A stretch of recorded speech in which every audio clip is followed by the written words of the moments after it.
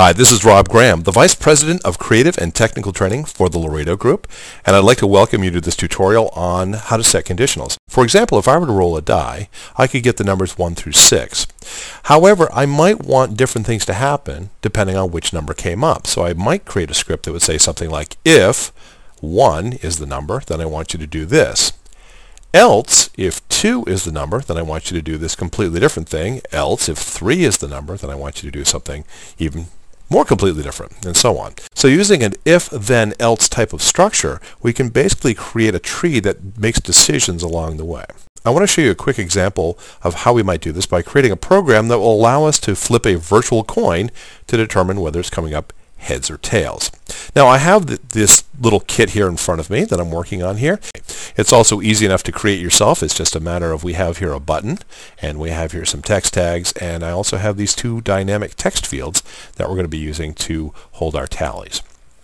The first thing we need to do is create some way of generating a value to determine whether or not it's going to be heads or tails. So let's start by clicking on the button here and I'm going to go into my button menu and because this is a button let's give it some sort of criteria to determine when it should execute its script and I think uh, we'll go for release. When someone lets the mouse button go, then I want you to go and run this script. Now the first thing I need to do is I need to generate some sort of a value to determine whether the value of heads or tails is coming up. And the easiest way to do this is to create a randomizer of some sort.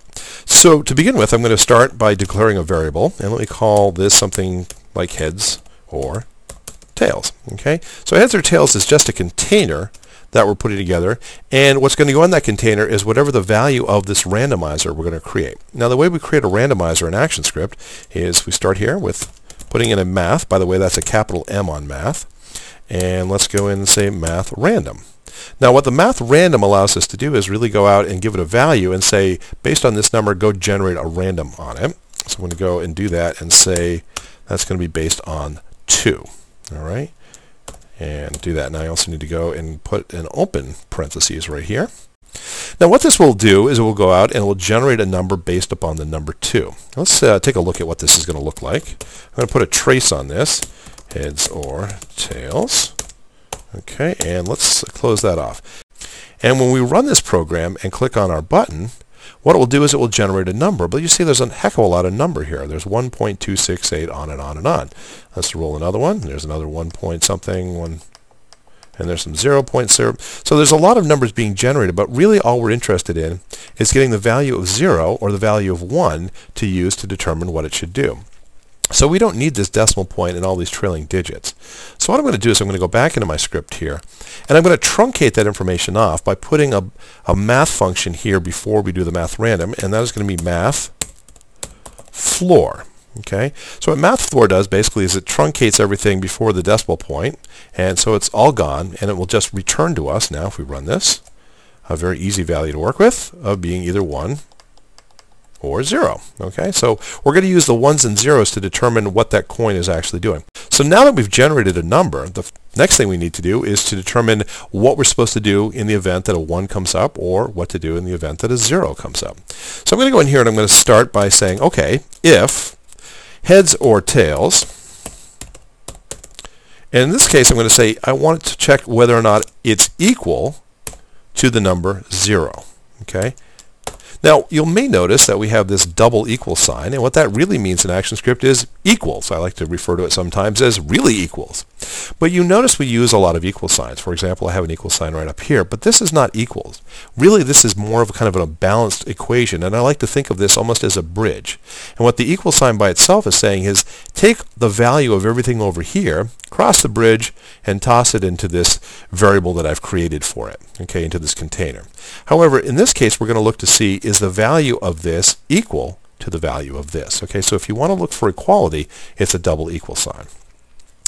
And if a zero does come up, then what we need to do is a few different things. And one of those is I'm going to set a new variable, and I'm going to measure to see what the current number of times that heads has come up.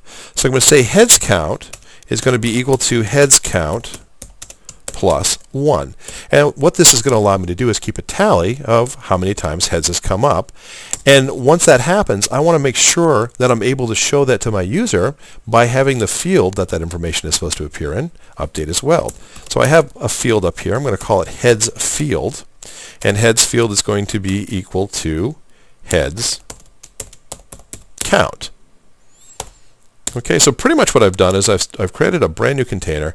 I've said take whatever the value of heads count currently is, add 1 to it, put it back in this container, and then make sure that that information is put into heads field so that my user can see that there's a tally going on as well. All right, so that's how we're going to handle it if it comes up 0. However, what happens if it comes up 1? Well, we're going to say if it doesn't come up 0, it's going to have to come up with something else. So if, and then I'm going to look to see heads or tails.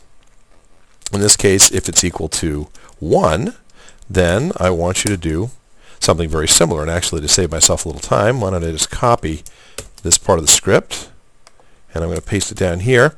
And this time, instead of looking for heads, I'm looking to measure tails. So tails count is going to be equal to tails count plus 1.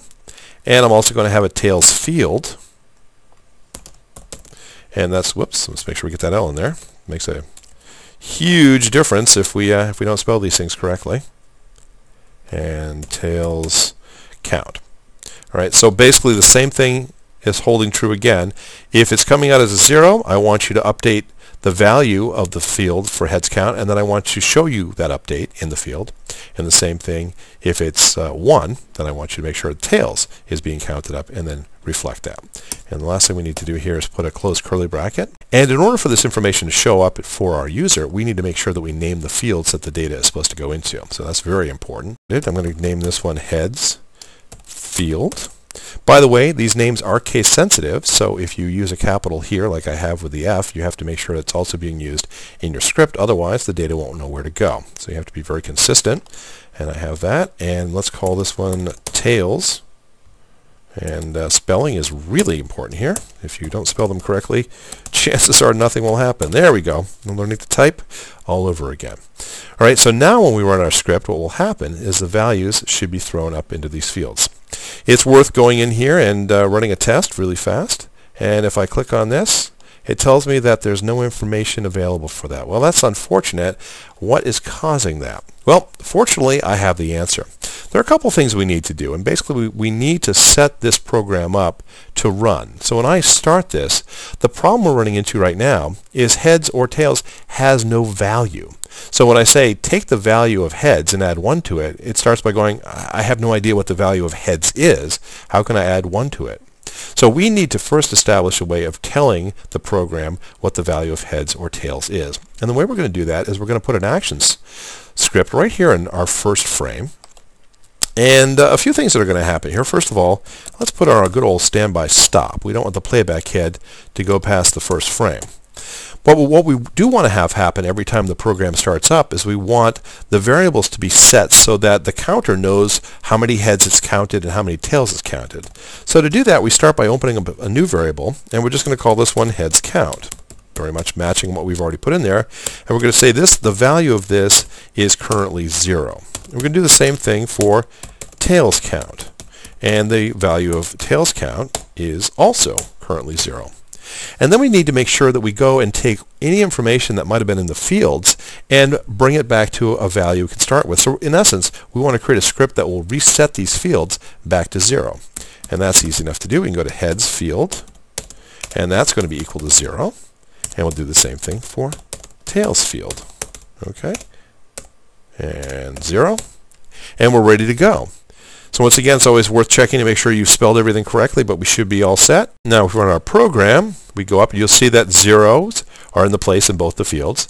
And now if we click on our button, it goes, and it's generated a value. Now, I know by looking at this that the number that was generated was 0.